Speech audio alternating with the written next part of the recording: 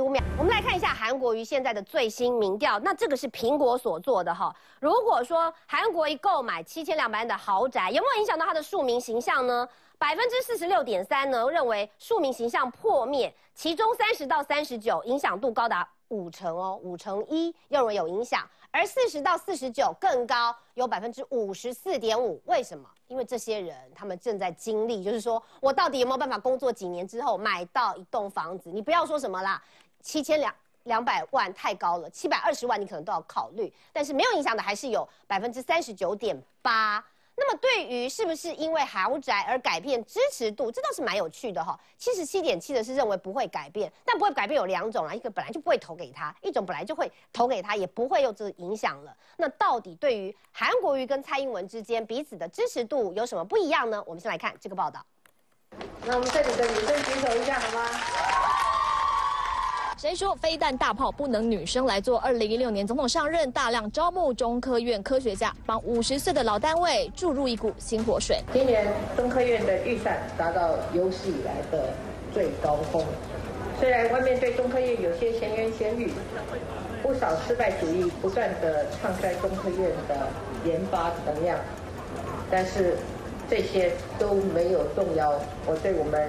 中科院的支持与信心，中科院可以前进总统的连任选举民调，也不能让韩国瑜追上。尽管亲民党宋楚瑜还在想何时宣布参战，但根据苹果日报最新民调，蔡英文拿下百分之四十一点二，韩国瑜二十五点六。宋楚瑜一旦宣布，可拿下百分之八点四。总统跟韩国瑜之间不止总统领先，还跟韩国瑜拉开百分之十五点六的差距。萨卡都也不影响当前局势。民调这个 还是跟你讲一样。民调起起伏伏是是有的了哈，那我们也会持续的观察跟关注。老话一句，但原本韩国瑜稍有起色的民调，因为豪宅案再度受创。同一份民调，百分之四十六民众认为韩国瑜庶民包装破功。韩国瑜市长在有些事情上面确实没有很清楚的回应这个人民对他或者社会对他的质疑嘛。那我也希望他能够尽快的理清这些。选举倒数，快要进入五字头，民调数字也许起伏，PK 人数可能加一减一，但比谁出错少，谁的赢面就大，却是不变定律。三天新闻由嘉伟、陈嘉伟同步报道。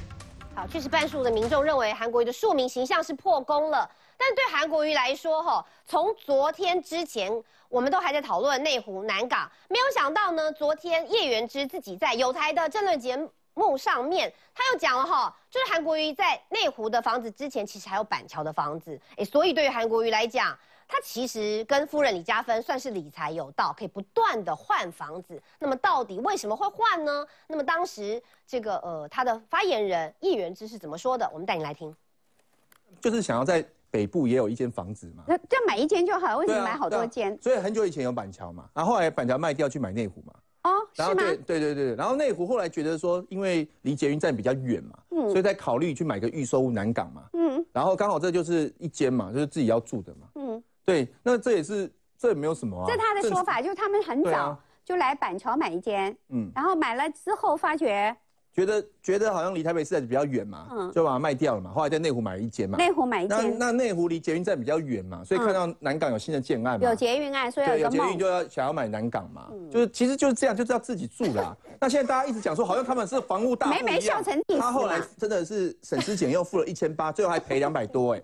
而且我就我所知，他内湖那个房子也赔钱呐。那然后所以 所以真的内湖房子是在涨价中的，你这样讲是不合理。买的这些地方，我跟你讲，这个共同特色，我只有一个我的外行人的内行观察，这些地方就是涨价的地方。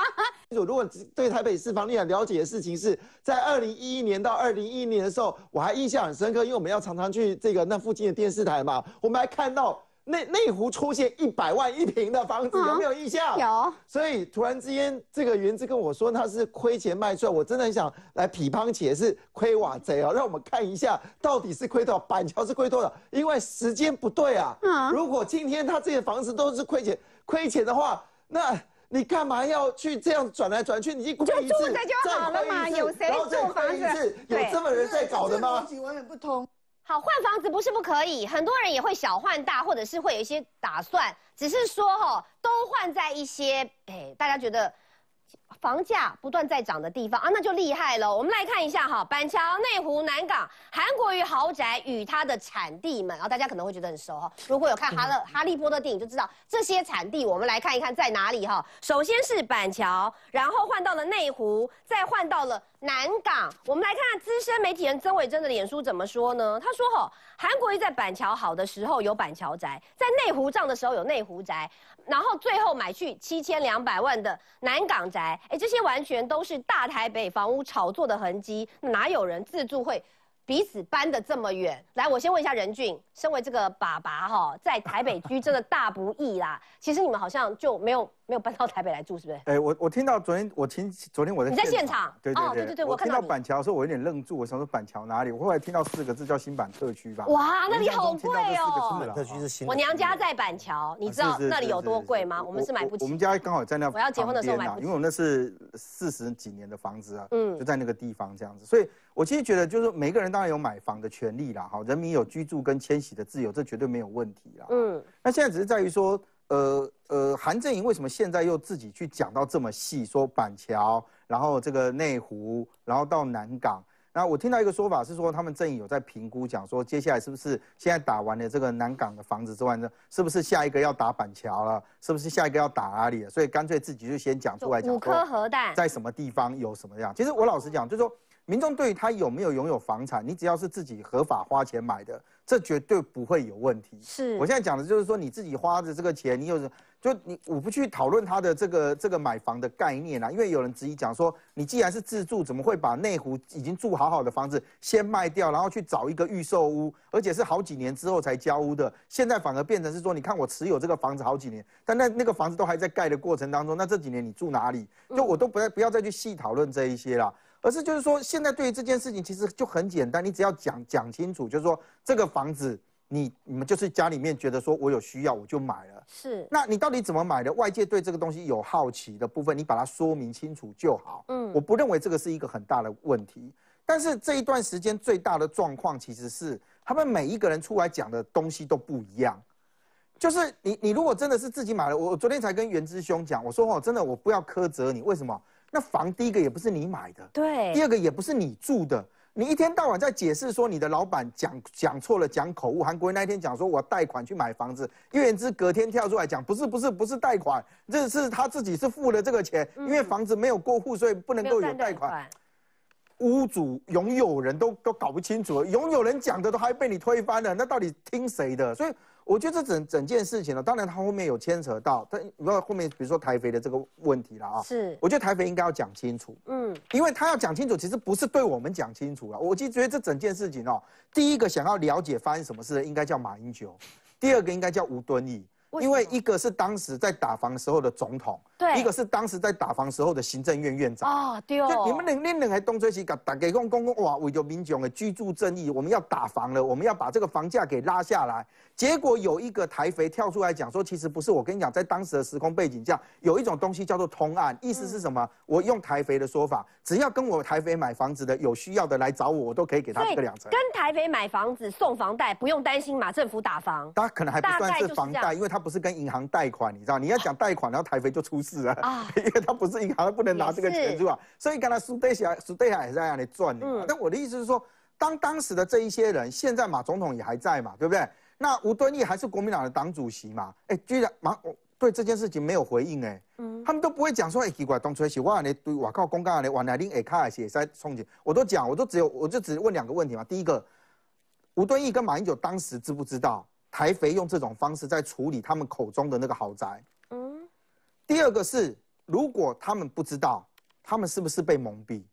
如果他们知道，是不是在包庇？是，就是就很简单的问题，就是我觉得对民众来讲，韩国买那个房子，说真的，他你你这只是说拿了这个钱，那这个钱到底是怎么来的？来，你讲清楚，台北讲清楚就好了。可是我我就说说，当你现在把这些东西一直这样子一直摊开，一直摊开来的时候，变成是韩国瑜本身不讲话了。对，李嘉芬被问到的时候不讲话了。是，旁边还有人讲说啊，这个问题去问韩韩市长这样子，那就很奇怪了。就说大家所想知道的，就是好，就算你买房子真的怎样谁干你公，你你看到阿贝东西撩紧啊没掉，嗯，我好歹想说，我如果国家交在你们的手上，你们这种投资法或买房法，我买压力在哦，安那安那款拢买都买在高点，是卖都卖在低点，是这也很可怕，你知道吗？对所以我觉得就是你对大家的的东西，那这样子你怎么告诉我们你要救经济要发大财？所以因为你永远都投资失当的一个人，然后你理财这么差，然后你跟我讲说国家交在你手上会发大财，我嘛不行而。而且他们还讲说哦，云林很重要，云云林不能被人家看不起。结果发现他们有钱的人说云林，他们不愿意买太多房子，宁可把钱拿到台北来买房子，嗯宁可到处去买房子。就你自己只用对瓦高波，用瓦瓦靠去买啊呢？那我还是这样强调，就是说。民众当然有居住跟迁徙的自由，嗯这个绝对没有问题。你当然有买房的权利，只要你是合法的这个状态之下。所以对于大家好奇的，就是你后面的这一段，说，哎，为什么本来不应该拿到这笔两成的贷款，台肥会用这个方式？我觉得台肥要讲究，台肥起码弄点点，我刚刚在蛮唔丢。是好，啊，你有打给安内去揣测，对任何人都不公平。现在扯到什么什么帮忙开协调会的议员，好像也被弄的，就是你们去施压。昨天我跟庄瑞雄啊，还有这个王世坚同台嘛，是他们两个都在讲说，哎，公斤讲议员啊，宽宽个大个安内，我叫白相信，他们都不相信国营事业就因为议员的部分就可以去讲。那这些其实这个事件一直吵吵，对大家来讲都是个伤害。嗯，所以我今天回来看，就是说为什么大家会好奇跟想要知道韩国瑜的这些细节，因为他选的东西叫做总统。你不能一推二五六讲说，哎、我今嘛进前的打击，你弄卖搞我惯了啊，你没搞我检视这个，我通通都不要管，你只要看我的未来，是。这个也很奇怪嘛，哈，所以现在我我觉得对于国民党来讲，哈，第一个我其实就讲了，当韩国瑜面临到这些事情的时候，国民党的人是怎么看待这件事的？嗯。是说一攻击股，那个该该税几股，一攻击股，那个该税几股，这不是一个和一个一个处理的方式，因为你的总统参选人现在被困在这个事件上面，第一个自己的阵营讲话反反复复，这个反反复复还有自己参选人本身讲话反反复复了，还有发言人讲话反反复复，还有发言人回来纠正参选人跟其他发言人说，嗯，丢不丢，弄公不丢，我公人家丢，没有人知道你们到底在干嘛。党的角色在这里面完完全全淡化到最极致的地方。是那这个选战就成为什么？韩国一个人的野台戏。一节的人攻下被冲下，转播波狼灾，所有人都只有在干嘛？你知道，当这个主角上场之后，主角唱了一句，旁边的就跟着附和一句；主角唱了一句，就附和一句。如果这是打选战的方式，我认为国民党创下了一个新的传统啊，也做了一个新的方法。嗯但问题是，民众能不能接受这种状况？是。我觉得这才是未来其实选举的时候可以验证的。好，人宇讲的非常好，就是说对于一个总统候选人，我们当然不是说要他把他真的有多少身家你都通通吐出来，然后你买房子是不对的，而是在马英九、吴敦义一个当总统，一个当行政院长的时候，马政府在打房，而韩国瑜是不是在这个时候有用别的方法？哎，可以这样子，就是把那两成的贷款，他可以借得到，这他才想知道，这是不是你做做事的手法？那以后是不是有可能呢？你就可以这个政策是一回事，可是，在你国民党执政之下，你就是有办法，有关系就没关系，没关系呢，那你就有关系了。我们来看一下昨天哈、有关系人是谁？高美兰，她因为被点名了，所以呢，她在这个高雄市议会的备询呢，她就请假了，而且呢，就说昨天不会来，今天也不会来。然后呢，再来就是这个台肥当时的董事长李复兴。那么李复兴呢，在二零一四到二零一五的三次协调会当中，台肥急转弯借出了十三亿。在二零一五年呢，含交屋出售南港豪第一豪宅的时候，那他跟吴敦义的关系是什么？哎，真的是党中央是不是也都突然间觉得没有角色了？对吴敦义来讲，伊玛干嘛紧尴尬啊，对不？一起行政院院长东豪哥你怎么看？哎这个事情哈，千万呃对国民党人不能节外生枝。也就是说，李复兴因为当时是台北董事长，嗯，可是今天大家在呃，其实有好几个朋友现在在最近在忙的是什么，你知道吗？在查呃，从二零一一年一直到二零零二零呃一八年台北的财报，连连这几年的都查哈。嗯。在看他的财报跟年报里面，一直想一一直拼命想要找到什么，那一条是三亿，到底是贷款、是借款，是，到底无双这个豪宅案最后是怎么处理的？嗯，这里面曾经有几个，像磊磊委员是专是会计师，因为会计师这个时候要怎么签证，这个会是一个很严肃的部分。嗯嗯，也就是说，台回必须要把他的基本，这里我们先不讲有没有法律问题，会计师有一个责任义务，要善尽他这个善善良管理的责任，让这些资讯呢客观而平实的揭露出来。因为台肥是一家上市公司，对，然后再过来我们再来看说台肥做这件事情，在政策转变之下，他有没有按照正常程序去做呈报和核准？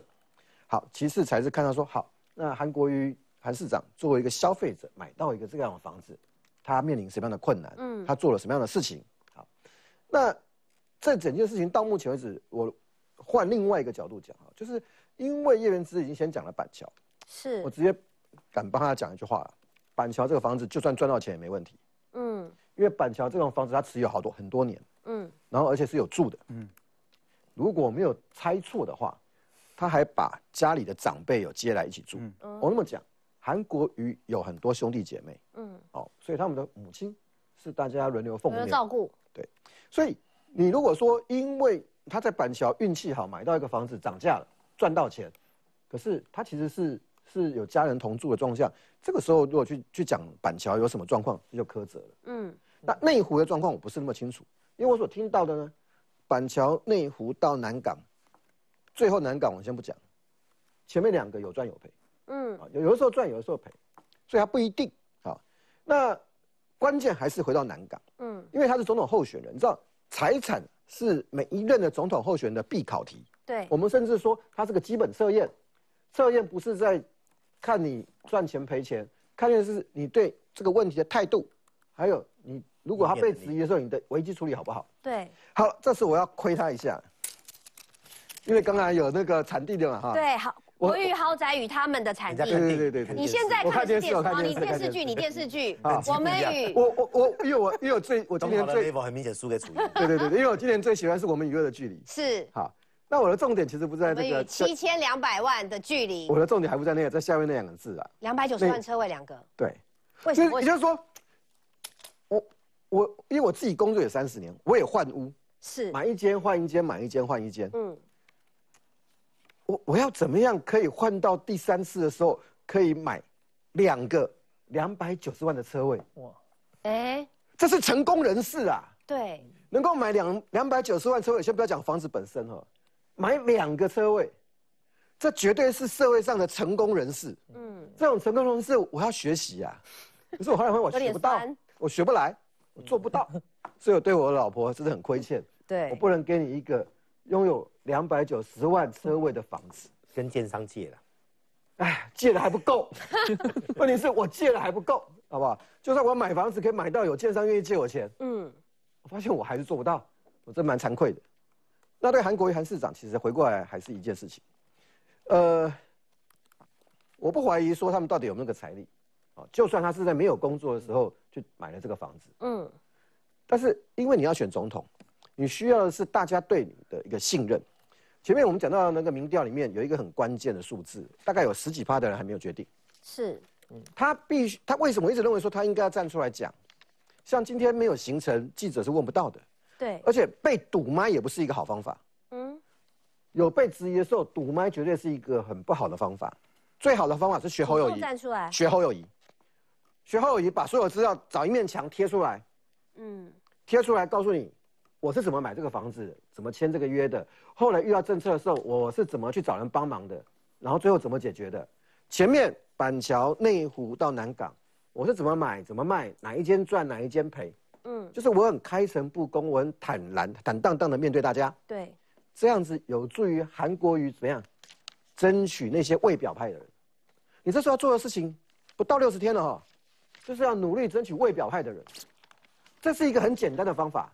所以他处理的好，他虽侯友谊过关有机会。侯友谊用过，是侯友谊。蔡英文也用过啊。对，蔡英文当年二零一五年的时候也是来导播带一下，就是这样的一个表。我拿我一直我一直不断的拿出来，是因为哈，我希望韩正营有看到了哈，可以学习一下，就是这样一个表列出来，好告诉我们你什么时候买，什么时候卖，然后到底头期款是怎么样，自备款是怎么样，最后到底有没有跟台糖。台肥贷款，因为现在是连有没有跟台肥贷款，因为我们都不清楚，不知道哎，到底是有还是没有？这个会影响他一般的人对他的信任，是，尤其是什么那些未表态的人，你应该是努力增加未表态人对你的信任感嘛。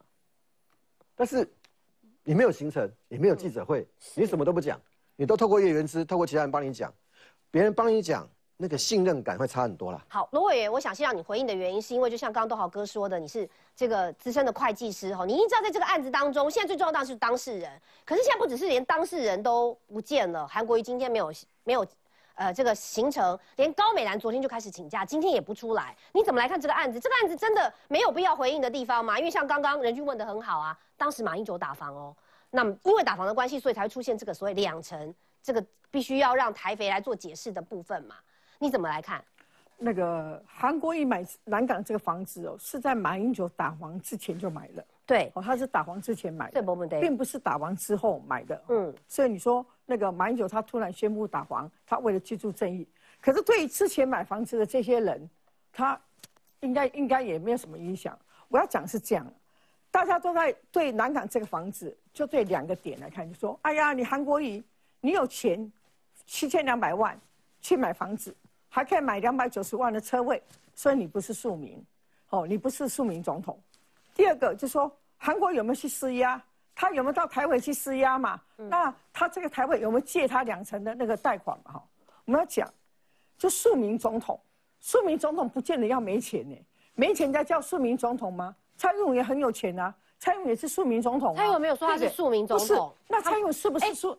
蔡英文讲蔡英文是庶民庶民他有没有讲？韩国瑜之前没有人用庶民两个字。他有没有讲嘛？那可是他是不是庶民总统？庶民总统我要做庶民总统，不是说我没有钱，我没有钱才叫庶民总统嘛？我是觉得应该是这样区别啊。包括你看，蔡英文也有钱啊，他可以去内湖买十五笔土地呀，后来赚了一点八亿呀。那那这个怎么讲呢？我是认为说，只要是你的钱来源是合法的。你没有用用一些什么不义之财啊？你是适当的理财，尤其是韩国瑜在买这个房子的时候，他是一介平民，他根本什么职务都没有，什么公职都没有，包括他的太太，所以他的财产也不需要申报，也不需要受检验嘛，吼。那所以说，你你今天你你除非你有办法证明说，他这个钱是来源不明，他是用什么什么奇奇怪怪的方法去赚来的钱去买的，那你才去质疑说，哎，你怎么可以买这个房子？那至于说庶民总统，哎，你你看看，川普也很有钱啊，那那川普也可以当庶民总统啊。他只要是说我做了政策，我是苦民所苦，解民所苦，那都可以叫庶民总统。包括蔡英文也可以叫庶民总统，因为他假如有跟人民站在一起，都叫庶民总统。所以不能庶民总统不是用有没有钱来衡量的。第二个，你说他们到到那个台北去施压，那你要拿出证据呀，你要举证说他跟谁施压。他叫谁是施压？他用什么方式施压？你不能够随便影射说，哎呀，他找了两个议员去施压。我请问你，议员有那么大的能耐吗？你议员去施压，台委就甩你吗？就理你吗？而且又扯太远了，扯说什么又跟又跟什么？哎，李复兴说又跟什么？哎，吴吴敦义是是什么很好的关系呀？扯太远了啦。那看在老百姓的眼里哦，也就阿杂的了吼。那我们今天要看台委可不可以借这个两成？其实台委他不是借款，他没有借钱呢。什么叫借款？借款是说把钱拿出来交给韩国一次来借是贷款。他是讲他是他这个这种也不叫贷款，应收。这种要叫做什么？就是说本来你要付我两成的钱，可是因为有困难嘛，那困难以后大家来协商嘛。因为协商，所以所以最台回债务协商哦，台回应该是在要应收账款，台回的应收账款应该是挂在应收账款。那变成是以后台肥盖的房子，我们都可以这样吗？我我也很想。那如果我想知道，我可以。那看你台回，你你我看我们本事，所以我就没本事，我不可以。我我这是这个意思，这样讲就表，因为当初嗯去跟台回澄清的人。不是只有韩国一个人，九户哎六户，也不是只有那个六户，那时候很多人嘛，所以他变成通案嘛。那时候几乎写存任信函给台委了，有有七八十人，大部写给台委嘛，因为你政府政策改了嘛，所以好到底为什么银行？其实照讲是银行要不能溯及既往哎，照讲银行是要这个七成要贷哎，因为你你那个马英九他们打黄，那可是以前的案子的话是应该要照借，所以为什么他这个案子会出现说？银行借不出来这两成，这个我们还要还要还要详细去了解了哈。那我要讲说，那台委他只是说，因为有这些困难，这些人两成拿不出来，那拿不出来怎么办吗？大家上法院去打官司嘛。那打官司劳民伤财，而且又要请律师，又要花钱，那倒不如大协商嘛。那因为台委他有第二顺位抵押嘛，就说哎，我要跟你台委那这两两成的那个应应，等于说我应该付给你台北的钱。我们分期付款来付嘛，那台北有些说给二十年，听说也有些人十年的，有一期二十三对，就看看那个每个人的需要嘛，因为等于说后来就台北个别跟每一个买房子的人，大家去讨嘛，有人十年，有人十五年，有人二十年嘛，就是互相互相谈每。对罗委员，你觉得一手马英九打房，一手国营企业？底下可以这样做？不是，那这个如果我我是以后国民党执政是不是也可以这样？你讲这个就比较那，包括现在，假如说是，假如说了是蔡英文执政了，那台回他碰到这种情形，有八十几个住户。他现在那现在这样子，如果有一个数字不对，数字不对，不对，数字都错了，不是这样子。不是，不是，我们要讲，我们讲正确的。讲正确的来定定。我把我把客观条件讲完，你再你再来评价了哈。第一个，好，第一个，我对于任何人去买任何房子没有意见，那是他的权利。嗯。那公职人员裁员清楚就好了。韩国瑜的问题有三个，第一个太假了啦，装穷。我从来我不喜欢用什么接地气啦或庶民，因为庶民你如果仔细回想啊。我们台湾以前没有用庶民，这个是在皇权时代在用的。我们台湾讲的是草根运动，什么叫接地气？如果在台湾社会讲话粗鄙，叫做叫做草根现象化，看不起人嘛。嗯。那回到这个案子，二零一一年韩国瑜在失业十多年的状态下，他敢去定一个七千两百万的房子，那也照叶元之讲或者何庭欢讲，自己准备了一千八百万的积蓄去。我们有个社会常识，七千两百万是便宜还是贵？应该是很贵很贵，一千八百万的积蓄是很容易存到的，还是很难？应该很难很难。所以你就不要在去年一直营造形象，我我很我就是穷，我就跟你们一样。所以第一个他的形象破灭是在装穷。至于蔡英文总统那十八笔土地，四年前已经质疑过了。蔡英文处理的方式跟侯友谊很像，全部贴出来让你看，对，全部信托。那蔡英文从来没有隐藏他的家世，他的来源很清楚。那。甲就在这七千两万破功之后，那还有没有什么问题？有没有特权？我要讲的哈，这个不叫通案。那那一个社区无双哈，一百多户哎，嗯，最后借十三亿出去呢，十几户而已。陈情的人六户，那场协调会，而且是以韩国瑜他们这三个人为主进行协调，嗯，要求协调人是那位曹女士，然后呢，高美兰代表自己的老公，也代表韩国瑜去参与这个协调。所以这里面有一些问题，台肥可不可以这样做？台肥需不需要这样做？刚才罗远讲的，哎，啊那金马民众去检后被砸归后问题，你被该管不？当然要解决啊。但问题当时不是现象。根据台肥内部的资，如果这是一个借贷，好，如果是借贷的话。只能借业务相关的，而且一年期为限，是，而且不能超过净值的五趴，而且要经过董事会同意。很明显，他我没讲完嘛，所以台肥不是走这条路嘛？对，他不是借贷。那好吧，那我们回到买卖的合约，请去看当时日升月恒无双的买卖契约的第九条，叫做贷款约定的第三款，里面讲的很清楚，甲方如果可以归责于甲方的话，甲方就是买屋子的人，就韩国瑜。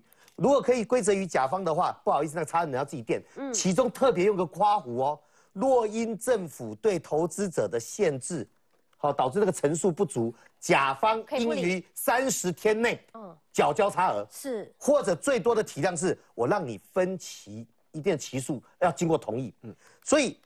如果哪怕是因为政府打房，七成的房贷变五成，你也不能借他钱。对，风险已经已经写在合约，那个合约是签字的哦。你必须在一个月内把差额补缴进来，而且里面讲得很清楚，你要去贷款要看你的财力、薪资、偿债能力、抵押品、连带保证人。如果你因为这样子贷不到约定的成数，不好意思，甲方自行负责。那合约写好了，公司内部的借款也有公司法的规定。买卖房子有买卖房子的合约，所以当当二零一四年有一个条约，那个条文是什么呢？我通知你要来办缴款、办过户，在期限内如果你不来办，拍谁要没收十五趴的罚金，就是一千零八十万。对，要没收，而且已经通知你期限了。那个时候韩国他们就发个存证信函说啊，陈叔带不到啊，还台北那时候根据合约、根据条文回了文，不行，你要缴。你不缴就要没收，这个时候协调出现了，我们都只看到两个议员三次的协调会，对，这里面不是就协调，有些协调根本没有没有正式开会，这个是有正式开会哈，还有萧保官在场，台飞在场，才有那些通知书，才有那些纯正信函，而开会的时候，曹启年主主谈呐，高美男代表啊，是，然后谈出来的谈谈谈谈了几次之后，突然间。从要求你十二月要缴款，要不然要没收一千零八十万，既然可以拖到隔年二零一五年的四月份，变成不用缴回，不用追缴了，换我借你两成，嗯，税干五加后一代级，这里面不管从合约来看，从公司的治理来看，这里面有没有特权嘛？一般人可不可以嘛？这是第二个层次。那第三个层次才是裁员的问题。其实我一直讲，韩国瑜就诚实讲，温博下五级，银丢温丢完把后歪解决，嗯，金流出来就好了。对，不讲，第一次出来讲，我们就是贷款，第一次讲贷款哦。对，后来和庭完又出来讲，没有，他们继续一千八百万加拍谁？他们要财产申报的。嗯，他太太李嘉芬在一年前还是议员，财产申报夫妻积蓄一百多万哦，那隔年可以你一千八百万哪里来的？所以你倒不如诚实讲啊，丢完把借你。那屌人把还刷其他点哦，他们家又不是没钱的人，在云林也是响当当的大户嘛，可他不讲，全部讲的内容都不起来，然后放叶元之啊，另外一线出来帮他说，然后自己不说。我我坦白说，现在帮韩国瑜夫妇辩护的人抱了一个很大的风险，狼刀背背主行安内背莫的唔在呢，你们这外人怎么帮他解释这些钱啊？怎么来了？当时签约到底是李嘉芬叫高美兰代替韩国瑜，李嘉芬用韩国瑜的名字买。还是韩国瑜叶元之讲的哦，韩国瑜有跟他太太两个人去看房子，两个人去谈判过，是哇，利路公路唔掉，当时两个去看，然后协调会说两个都不见，有去看吗？所以整个台匪的问题是，你这个东西有没有报董事会，有没有违反公司治理，有没有明明合约对你有利，你却图利特定对象，那不叫通案。一百多户，六户协调，十三户存证信函，最后就是十三亿，少数人借到。嘿，春奈哦，我相信连蔡正元都没借到这个钱哦。蔡正元说不用，对，蔡正元他没用到这笔钱。我的意思，不用。我跟你说，霸瓦侯维郎那个不叫通案，而是为了掩饰一个急转弯之后，多找一些人树大便是美。所以这整件事情牵到形象的假装包装破了，有没有特权看起来很不简单。第三个，你的裁员，三个没有清楚。至于板桥或任何其他房子，我基本的原则就是：立五摘雕被轻轻车侧，被一号北部。我们其实连讨论都不用讨论，好哪里有问题就检讨。打断定语，这个国国语豪宅与它的产地们呢？现在呢，国语的房子现在不只是有内湖到南港最新的讯息，带大家看一下。稍后来看完整的内容。黄光琴再度爆料，他说今年呐，其实韩国瑜又冒出了一千两百万的房贷。他想问，这是南港豪宅之后又有买新房吗？他要韩国瑜说清楚。光回来带您来看。黄光琴最新脸书一下哈，韩国瑜现在真的是房子争议一个接一个，真的是劝韩国瑜哦，赶快跟夫人李嘉芬就学蔡英文总统当年讲他的土地，又或者是侯友谊讲他的这个大群馆的争议的时候的方式，干脆自己出来开一个记者会啦。为什么？你看现在黄光琴又说了，韩国瑜跟李嘉芬今年五月财产申报时登录了一笔。二零一九年二月才取得的房贷一千两百万，那么之前我就质疑过了，是买新房还是拿旧房去贷款呢？因为现在哈内湖的房子因为南港投资而卖掉了嘛，所以他现在内湖没有房子。那南港的房子七千两百万的豪宅，二零一五年没有交屋就已经脱手了。云林的比佛利住家，那么又是自己家里盖的房子，那你二零一九年选完之后财产申报有四千五百多万呢？你又不缺钱的情况之下，那到底为什么要去贷这个一千两百万的房屋贷款？债务人李嘉芬，然后金额是一千两百万，时间是一百零八年二月十八号，理由是个人理财。我们知道，对于韩国瑜来讲，我们现在来看最新的绿党民调哈，哎，这个绿党民调其实里面呢也有提到韩国瑜这个七千两百万，大家怎么认为？浩宇百分之四十八的人认为这就是个炒房。可是刚刚罗伟有讲啊，庶民也是可以做房屋买卖啊。你可以看一下哦，这个这个四十八的那个刚好就是那个蔡英文的支持度，不是啦。你你看一下，韩国的支持度，韩国瑜的支持度在绿党民调是三十几趴，就大概三十四、三十五左右，这几周大概都在那个浮动。可是相信是自助只有二十八。我们有发现这个交叉表里面有一大部分的国民党支持者是不相信的，连蓝营支持者都不相信是自助。你有去住过吗？你根本就没有去住过，怎么会是自住呢？所以大家大部分的人都认为是炒房。可是国民党现在怎么安慰自己哦？你可以看一下韩粉的群组，都有在里面。他们说蔡英文也炒房啊，蔡英文年轻的时候就炒房，怎么样？他们是拿蔡英文的炒房来把韩国瑜的炒房来做一个合理化，但并不代表说他们真的有去解释这件事情。而且这个就是炒房，而且真正的，如果你去看一下我们台湾的房价，在马英九执政的八年，就是罗委员当立法委员的时候，那个房价涨得多离谱啊，多夸张啊！为什么年轻人买不起房子？你要不要去看数字？没有房价涨最高是从陈水扁时代开始，陈水扁时代开始起涨，但是马英九时代是房价跟所得比差最多的嘛，因为马英九时代所得没有上升，所以年轻人非常的辛苦嘛，是，所以我觉得国民党说炒不炒房，国民党最没资格谈什么炒房的议题，所以为什么去参加这个什么无壳瓜牛居住证要被轰下台，就是因为没有资格说嘛。那我是觉得韩国瑜很厉害的一个点，就是其实他超级会喷墨汁的，嗯，你去抓那个墨鱼啊，如果你要吃它，就喷墨汁就不见了。韩国瑜最厉害的一个招数就是喷墨汁，每一次出现这种事情的时候就喷墨汁。那昨天谁被喷到满脸墨汁是张善政哎，哦，真的很可怜。宣布当副总统的新闻，刚刚已经讲了嘛，不到七小时之后就全部都不见了。你看今天还有张善政的新闻吗？政论节目有讨论张善政吗？没有人在讨论他，因为韩国瑜自己喷了一个墨汁要跑走，那想跑走的就是这个七千两百万的议题哦。是，那他有两个。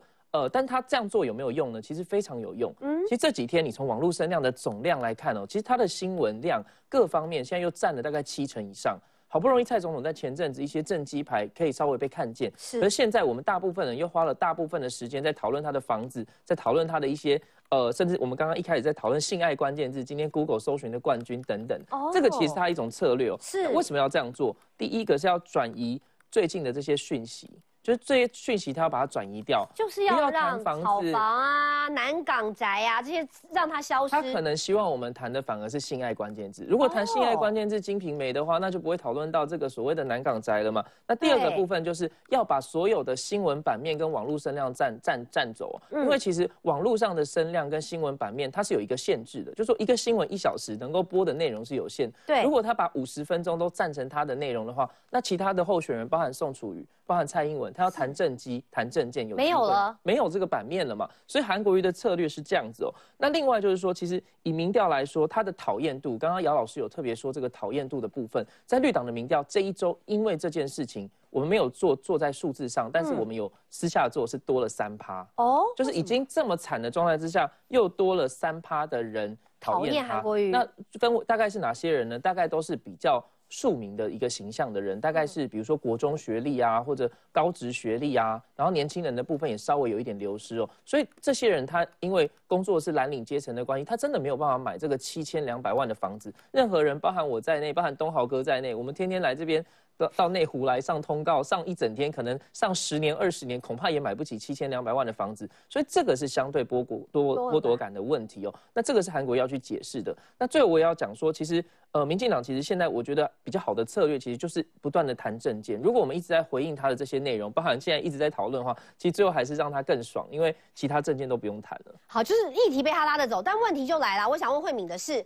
包括光晴现在继续的质疑，从他今年所申报的财产当中，哎，发现他又多了一笔房贷，哎，真的，高雄选举不是还有结余款吗？为什么还需要去借钱？这就是一个问题哈。其实刚刚讲，不管是说他是不是有去借钱，或者是呃罗源讲的应收暂缓哦，其实都会造成一个最大，其实一般的，尤其是年轻人，尤其是买不起房子的呃这些啊大家哈，这些民众们最大的质疑是说，为什么他的关系可以这么好？然后还有就是他的炒房的结果哦，是造成他自己个人炒一炒之后，其实造成那房价的如果一个居高不下的话，会导致年轻的朋友更不容。容易去去接近这样子的一个一个可能性哦。那以高雄来讲的话，当然高雄的社会住宅不是他这一届规划的，可是高雄社会住宅目前只有十六户哦。那你对于年轻人住的问题，其实是没有打算要有大大刀阔斧的改变。你看着我的市长一边就是啊。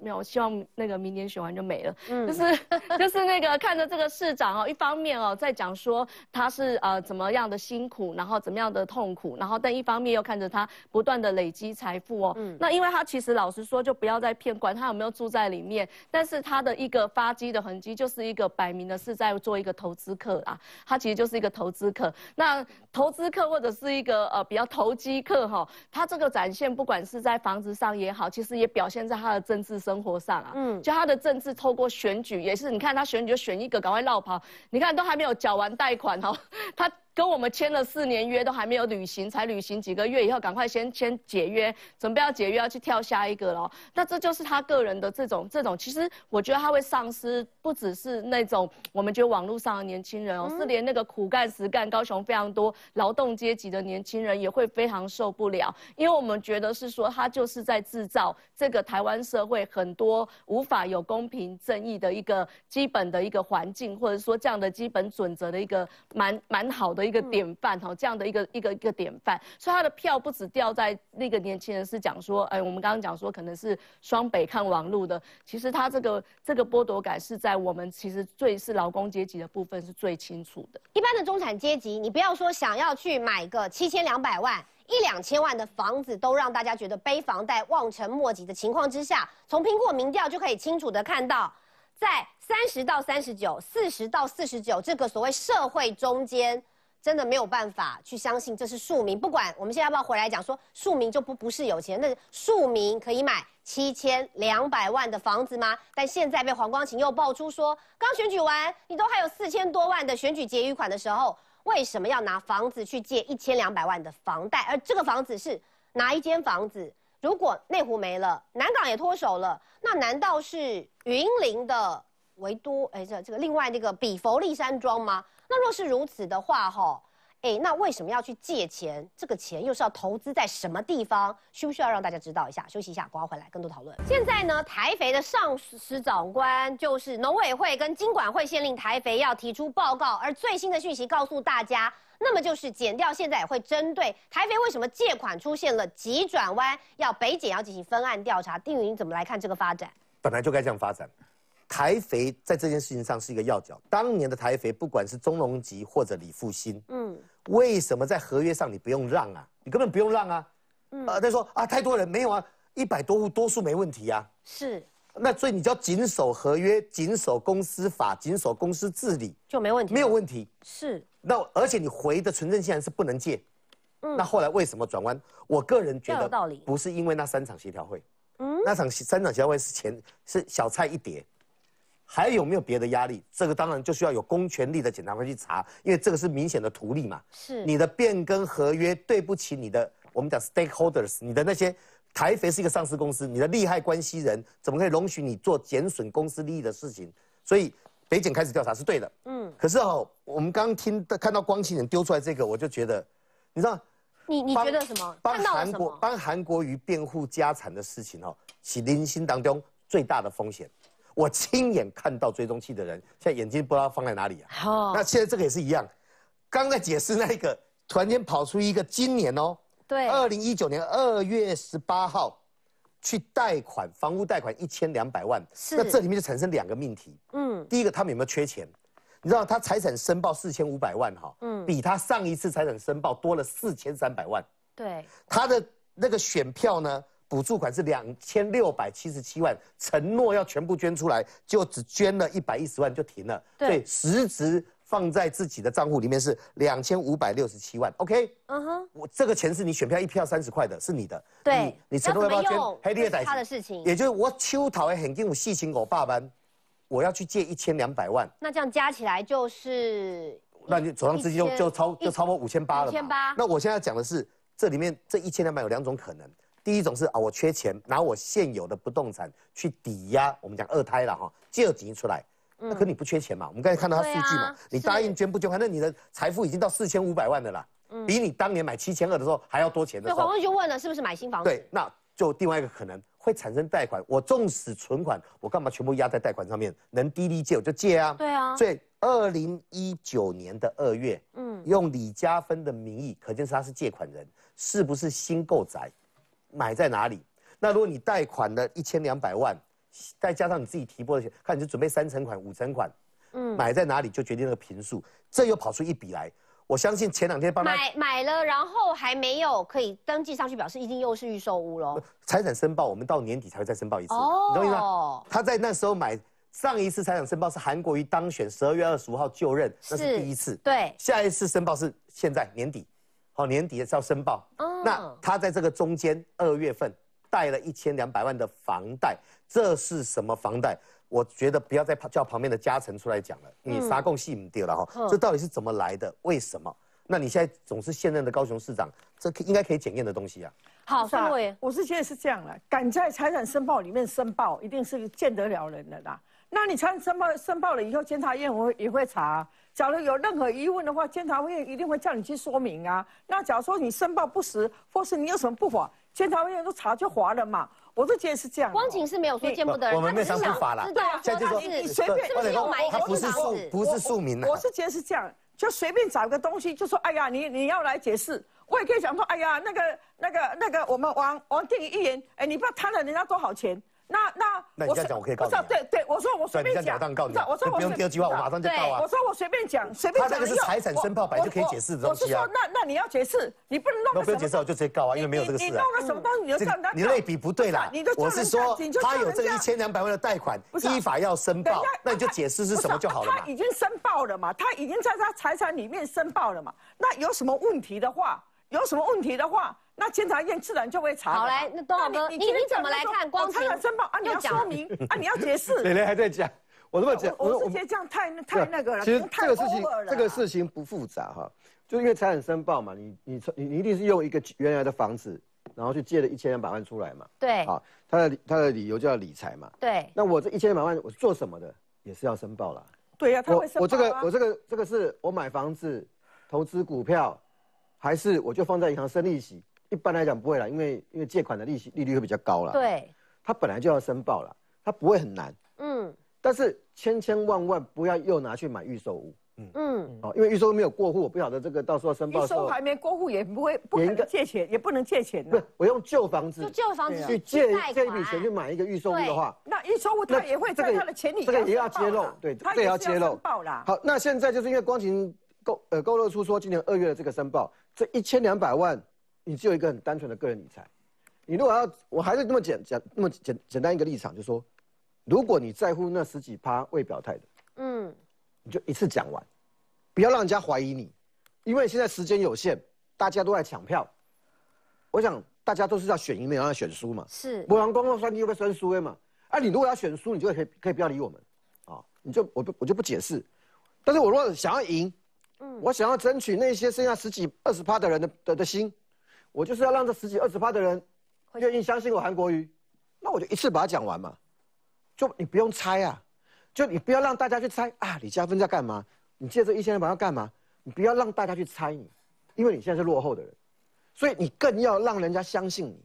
信任是一件太重要、太重要的事情。嗯，记住这一点，信。黄光晴质疑韩国瑜的财产申报现在有个一千两百万的房贷，但是回到南港案，现在减掉要开始深入分案来查。我想问任俊你怎么看？嗯当然，这个韩家看起来有他们这个在购买房屋上面看应该是没有什么间断啊，就是一个买一个这样子。那到底他的真正用途是不是呃，诚如说他自己申报的，或者是他其实这个钱贷出来之后有其他的用途？这个我讲实话，在合法的范围里面或者怎样，我觉得外人也很难去去过去计算啊。所以，当黄光启现在看起来他是用比对他财产申报的方式，然后呢去讲说，哎不对哦，你的财产申报上面有一笔这个房屋的贷款，嗯，那那个呃呃呃这个主要的人上面登记的是李嘉芬嘛，啊，那有一千两百万，然后是由某银行来承做。那我觉得这个部分就看韩国瑜正，因为他自己有讲过说，对于这些东西，他觉得他都已经讲清楚了，嗯，他不愿意，不会再随大家一起起舞。一直到昨天叶元之突然跑出一个板桥的时候，大家觉得奇怪，林奈博的气口赶紧给我给盯出来啊！所以我觉得这个议题当然对很多很多关心的人来讲，我觉得大家更关心的就是说，拥有权利的人，他是不是可以有很多的方式或者不同的管道，可以拿得到其他人他没有拿到的这件事。嗯，所以我一直记得就是说，韩国瑜的这个发言人这个何庭官他强调说，平民什么叫做平民？就是没有特权的人。是但是现在看起来，这个你买房子是一回事，但是你在买房的过程当中有没有不当的力量介入，或者是导致你？